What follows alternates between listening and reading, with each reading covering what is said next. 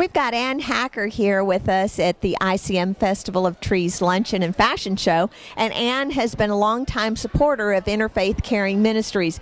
Now, Ann, why, why this particular charity, this foundation?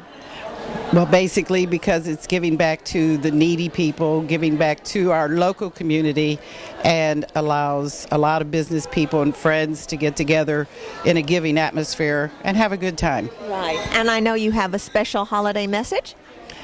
Yes, uh, it's much better to give than to receive. Thank you.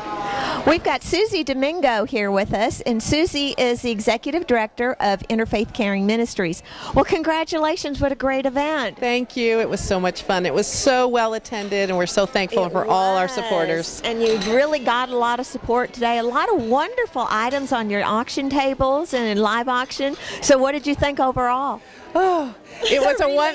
Yes, it was a wonderful experience, and I'm just so thankful to everyone that helps us, and you know, to do the mission that we are out here to do. We can't do it without the support of the community. Real quickly, just highlight some of the missions and some of the things that HICM does do. Okay, we help with. Um, Food and rent and utilities. We help with childcare for um, single moms that are going back to school. We help with prescriptions and doctor copays. And um, we have a Webster lab that helps kids learn computer skills. About how many families do you think you touch in a year? Oh, we help about 4,500 families a year. Wow, that's amazing.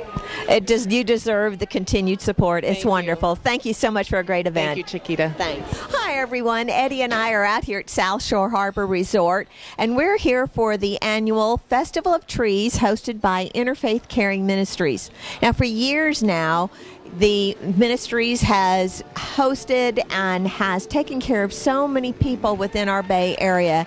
It's really kind of nice to see them on the receiving side of things so they can do even more work. Oh yeah, this is their major fundraisers. Yes, right. Had a great fashion show, a fantastic lunch.